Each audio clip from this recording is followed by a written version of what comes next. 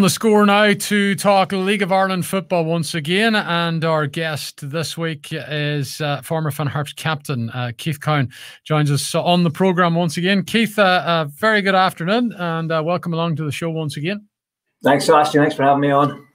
Listen, a lot to talk about uh, League of Ireland wise. Uh, you played in some derbies over the period of your your spells at, at Finn Harps, and you never managed to get the one at the Brandywell. Were you a wee bit jealous on Monday night? Were you? Look, I was just I was just jumping on my skin when uh, when Foley found the back of the net. It's great to see. It's great to see a win against Derry, no matter which club it is. But uh, I think it makes it more special when, when it's a when it's a harsh victory. As you mentioned there, we got close on a couple of occasions in the Brandywell. We spoiled the party uh, there one night when they were going to win the league. Uh, way back when I think finished a two a, a two all draw we got, and uh, that was sweet enough going ahead twice in that game. But you know the, the lads will be will be buzzing. It'll give them a serious lift going into the match uh, on Saturday away to Bohs. Well, listen, it was a much needed victory because the four games prior to that, they managed just to pick up a point after having such a, a fantastic run. So the timing of the three points, Keith, was crucial. Oh, yeah, because it sort of, you know, it sort of made that gap now again between Derry. Like Derry got, you know, the two ones there after Rory Higgins coming in, you know, that resurgence of a new manager uh, coming in, and the, the young players that there reacted to that there, you know, getting a win away to Sligo and a win away at Bohs. So had they have beat Harps uh, there on Monday night, it could have, you know, it would have it would have brought them right up and behind them, but it would have brought the gap back into a point. But uh, no, it's a really, really important victory for Harps. Um, the way we look at Harps now, we're kind of expecting them to do something every week where that expectancy, you know, is there you know, not getting anything against Shamrock Rovers or or Patsy haven't played well in both games. You know, that's kind of where the expectancy level is now. So it was great to get back to winning ways. You know, as, as we mentioned, the goal right the death foot, that man again, Adam Foley, on a great run of form. Um, and three points is massive, as always. Yeah, and in that period as well, um, Harps failed to find the net on, on, on several games leading into that. So, so the and the Northwest Derby, a, game of such magnitude, uh, to get back onto the scoring sheet again was also also crucial. So it was for Ollie's side.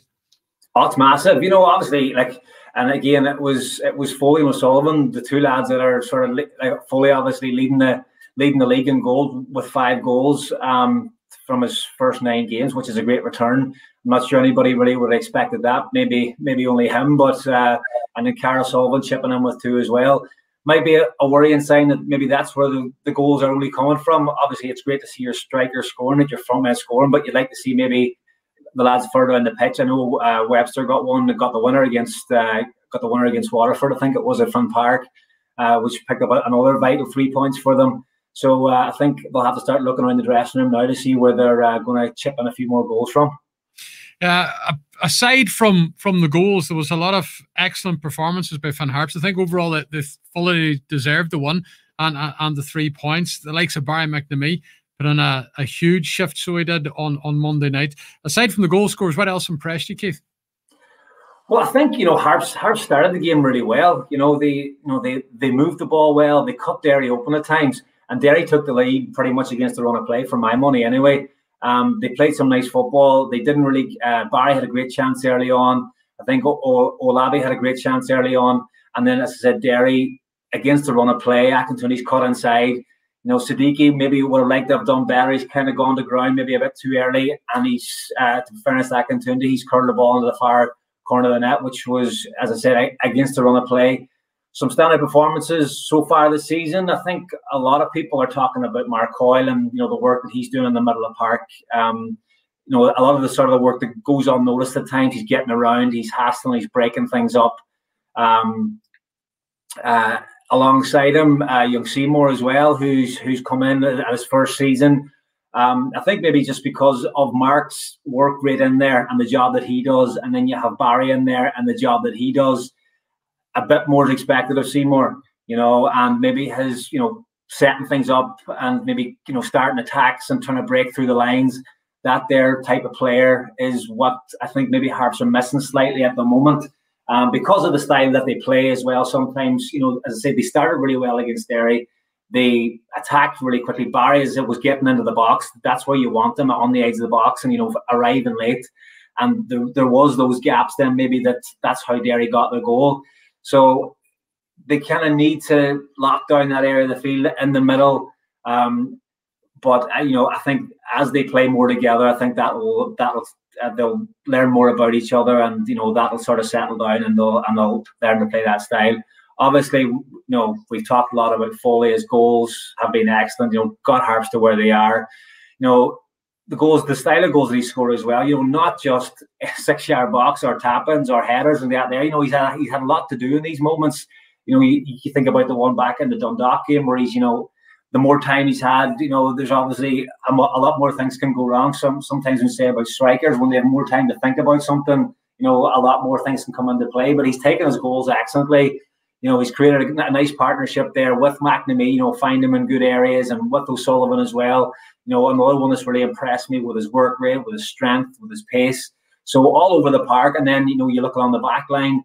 Uh, Siddiqui, who's done really well in a lot of games, very commanding there, very strong, you know, great presence in there. Webster, you know, captain's role, organising, constantly talking. You know, Mark McGinley's coming for a bit of criticism uh, and, and goes for, you know, the past few weeks, maybe making mistakes, but that's just the expectancy level that, again, that I was talking about earlier. Mark Anthony McGinley has pulled off numerous saves for Harp, keeping them in games and set the bar for himself so high that when he does maybe have a lack, a drop off in concentration or that might lead to a goal or might lead to a shot and goal, people are going to criticize him. And that's the unfortunate part of being a goalkeeper. When you make a mistake, it generally leads to a goal. So, um, no, I think as a as a massive result for them during the week, and know, three points in a derby, the way they did it, confidence will be set sky high, and they'll be looking forward to Bohs now again on Saturday.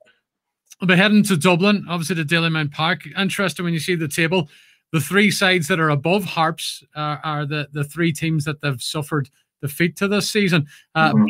currently sit what six points off them, uh, seventh in the standings. Um, if you were to look at that and the way the results have gone, uh, you would expect Harps to get something out of this game. Now I know people have been talking about Bohs are a top four team, but that mm-hmm. hasn't turned out on the results sheet. So this is a game that you would think that Harps are fully well capable of possibly getting a full set of points in the road, Keith. Uh, very much so, very much so. Actually, I think you know we spoke about it at the, at the start of the season. Uh, this is not the Bohs team of old, you know, uh, with the experience and stuff. You know, quite a young squad there. You know, a, few a few lads with experience. Um, contrasting styles that they play. I watched uh, just some of the highlights there against Drogheda. You know, the goal they scored is as good a goal as you'll see um, in the league and, and the League of Ireland, no matter any other league. You know, keeping possession you know, playing out from the back in tight areas with with men around them, you know, going back and going out the other side, you know, and a great ball, a great ball from the midfield and, you know, tucked away very nicely. Um, I think Harps, you know, they've gone there previous previously, picked up three points there at the end of last season. They beat them at home. They'll know all about them. They'll be well organised. Um, as we say, Ollie won't let the lads get carried away. And you know, even having picked up three points against them and you know beat them the, last two times that, that they played them, he'll still be keeping them grounded. The the approach will still be the same: be organised. You know, play to play to Harp strengths, and they they'll be thinking three points will be fairly achievable on Saturday night. Yeah, and I suppose what's it going to take? Bohs, of course, of the likes of Georgie Kelly, who can stick the ball in the in the back of the net, and we've seen the, the, the threat that that he posed. They're a hugely uh, a talented side, but the fact that they're back scoring goals again, it sort of adds to the whole thing, doesn't it, Keith? Oh, de- it definitely does. And you know, like Dalymount's never an easy place to go anytime. You know, I think as just as I was kind of saying earlier, that the confidence and the momentum seems to be with Harps at the moment. You know, they're ahead of Bohs and they'll and they want to keep that. They, they want to keep those. Uh, I think I think it might be. I'm not sure if it's four or six points between them at the moment they'll want to keep that there. And uh, you know, yes, they have threats. Georgie Kelly's a huge threat. Loves scoring goals against Finn Harps. Has done it over the over the years. You know, still a young man. Still, you know, he's picking up goals here and there, but not as prolific as he would want to be. And like as I say, he loves scoring against Harps, and he'll be looking to grab a few a few more on Saturday. Well, uh, Ollie Horgan will be hoping that he doesn't stick the ball in the net uh, come Saturday evening. Uh, after the game against Bohs, there's crucial back-to-back games. We've got two the two Louth sides coming, uh, Dundalk and and Drogheda. So again, if you had a good result, it certainly will put you in a, a very not a comfortable position, but in, in good spec as you are heading to the next two games. Definitely, like um, you know, and again, they'll be seeing these games as you know they've they've they've played Dundalk. You know, they've taken points off them already this season. You know, going there and winning is a, is a huge result. As I say, it's all about confidence. That will give them massive confidence. Dundalk, not in a great run of form. You know, interim manager Jim Magilton coming coming downstairs from his director of football role and the management. You know, there's talk of uh, David Healy, current Linfield manager, coming in there to, to the Dundalk hot seat, which would uh, be a huge boost for them with with his experience. So you know everything's just not rosy in the garden there. It's you know it, it's strange when you when you look back five six months ago, Dundalk were playing in the Europa League group stages against Arsenal. You had Finn Harps that were you know fighting relegation against uh, against Waterford and the League of Ireland. So the fact that we're now talking about Harps going and you know picking up three points against Dundalk in a very winnable game, you know that just shows you where they've come. So they, will after this first uh, round of games, they've played everyone, they've seen everyone, so they won't fear anyone. You know, there's probably not many. If if you look at the points, you know, 14 points from nine games, you know, a great return. But if you look at that, those running games, there's not there's not many games there where you thought we didn't deserve these points or it was a snatch and grab. Maybe maybe the Waterford game, but you know, you, you've come from behind, you've dug in, you've shown that they can do that against Waterford. They done it against Derry the other night. So you know, as I say, the guys have nothing to fear. They'll be they'll be looking for Dundalk to come down and, and, and put up them, and I'm sure they will. Look, we can't rule out Dundalk and just say you know that they've totally dropped down, but you know they they've they've gone to Longford and struggled to get a point there last weekend. So you know it's uh, it's it's not the Dundalk of old, and you know Ollie will be and Higgsy will be reminded of that. Although to respect them, but look, it's very achievable to be picking up points against these teams. Yeah, that's to come in a number of weeks' time. Uh, Derry City lost, of course, that derby on on Monday night. Uh, they had two victories before that, Keith. Um, the last time we spoke to you, uh, they hadn't picked up a single point. What have you made of them since? Well, obviously, you know, the new manager coming in has given them a lift. You know, uh, Rory Higgins, I thought was a great appointment. There was a couple of names mentioned. Uh, I know Paddy McLaughlin, the Cliftonville manager, was mentioned. Uh, I think Paul Hegarty was even mentioned, and there was chat that um, two weeks ago would have been his last game and he would have been taking the job, but that hasn't seemed to materialise. Uh, Rory's in there, you know, bit of a Derry legend, you know, played there for a number of years, uh, has experience throughout the league, played also for Bohs and Dundalk, you know, played a season up in Coleraine as well in the Irish League. So huge wealth of experience, still relatively young, only at 36. Um, he's got an experienced man in with him as well, and uh, Raf Cretaro, you know, huge experience in the league. They'll know the players, and I think it's maybe he's got the reaction that he's wanted straight away. You know, with a young side, I think from the side that started against Harps last night, you uh, Lafferty maybe at 31. The rest, they're talking, you know, you're talking Kieran Harkin 25, Atkinson 25. The rest of the last 20, 21. You know, not a lot of experience in the in the league. So um, you're looking at that there straight away. You know, to try and get that reaction uh, f- from the players, and he's done that straight away. You know, going to going to Sligo and winning, great result, real battling performance.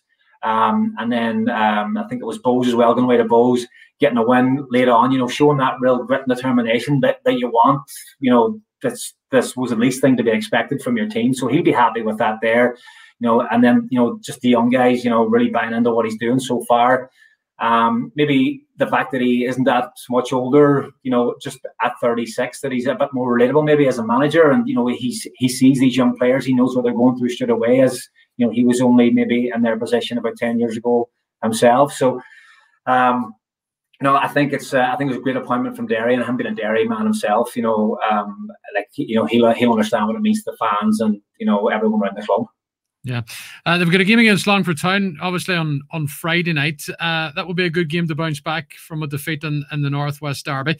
They currently sit just two points above Longford, so one here for Rory, Rory Higgins' side would would put them back on track. Is that we expect them to be come the end of the season and then bottom four, bottom five surroundings of the of the Premier Division, Keith?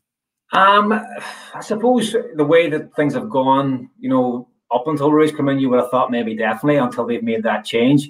It's hard to know now, you know, uh, which way they're going to go. They'll be looking to get three points. You know, I think it's I think they're home to Longford this weekend, so you know that'll be a game that they'll be thinking that we have to go and win here.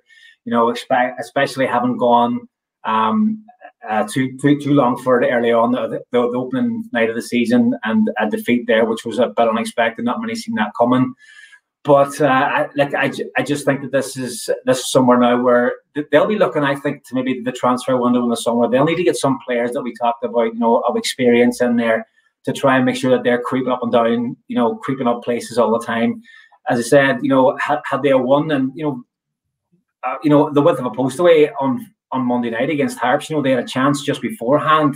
I think it was Jack Malone had a, had a shot hit the post, and then just after it at the end, Toal, you know, had a header that's, that's hit the post as well. So, you know, they're they're, they're there thereabouts. But, You know, these young guys are, you know, as, as, as I mentioned, buying into what uh, Haggan wants to do here, and uh, sorry, Rory Higgins what wants to do here, and uh, you know, he'll be expecting another big reaction. You know, a, a, a huge bounce back uh, come the weekend. Yeah. Uh, one other game just in the League of Ireland uh, of note this weekend: St Patrick's Athletic against Shamrock Rovers. It's going to be a battle of the uh, of the top two sides in in the Premier Division, and I suppose the way things are panning out already, uh, it's fair to say the title probably down between these two, with with, with Rovers edging it at the minute. Keith, do you agree on that? Well, they're, they're the early pace setters. You know, you look at the squads that they have accumulated. You know, when we talked about you know maybe lack of experience with certain squads. You know, this they seem both sides. Uh, Stevie O'Donnell and Bradley seem to have got you know the the great mix of experience and youth. You know, uh, and in abundance with both those squads. Like you know, a lot of the lads that you know left Dundalk um, at the at the start of the season or the end of last season have gone to both those clubs and you know, with that, you get experience in, in massive games. You get experience on, on how to win leagues. You get game, you get uh, big game experience, how to how to how to manage these, these occasions. So you know, with the early pace setters being those two, I think you know Sligo, you know, maybe faltering slightly at the, at, uh, at at crucial times and and in the last few weeks. So uh, I think you know we we would be a bit naive to look any further than uh, than uh, Pats and Rovers. Of course, of course, for Harps, of course, we might uh, we have to throw them in the mix too. But no, I think it's I think it's Rovers and Pats so far. Police in Europe for Harps, Keith.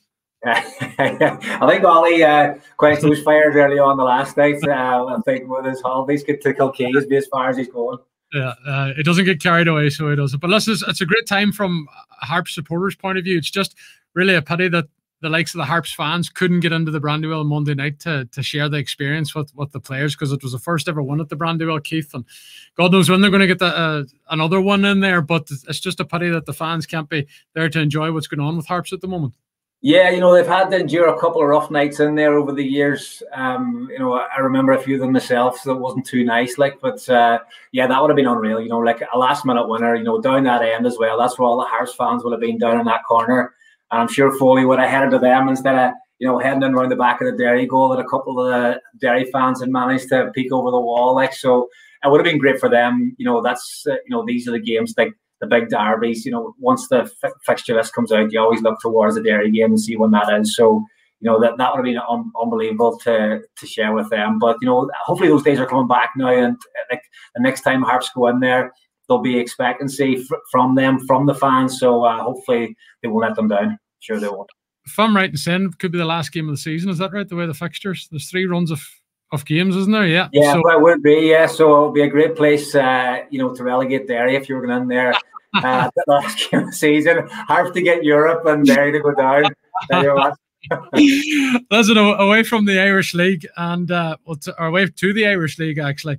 Uh, Senior Cup for you guys, Glentoran against Cliftonville on Saturday evening. Um, is the cup now maybe the last chance to solve for you boys? Yeah, unfortunately, you know things didn't go our way last night. Uh, Coleraine with uh, a last minute equaliser, you know, uh, taking massive points. And I suppose any whoever had won that game would have, you know, moved that bit closer to Linfield. Uh, they seem to be in the driving seat at the moment, you know, with only with with with games running out. So um, yeah, like you know, it was a great experience. Obviously, winning the cup last year. You know, spoke with you about it before. It was fantastic achievement. You know, we're looking to do the same this year.